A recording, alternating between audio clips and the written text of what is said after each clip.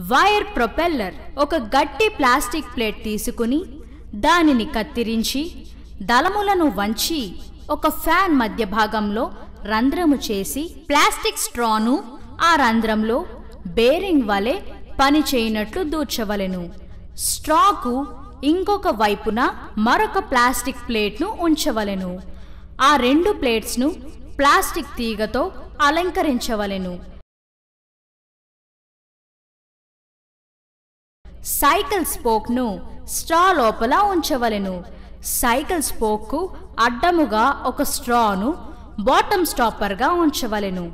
ఇప్పుడు దీనిని ఫ్యాన్ క్రింద ఉంచినట్లయితే చాలా సున్నితంగా తిరుగును.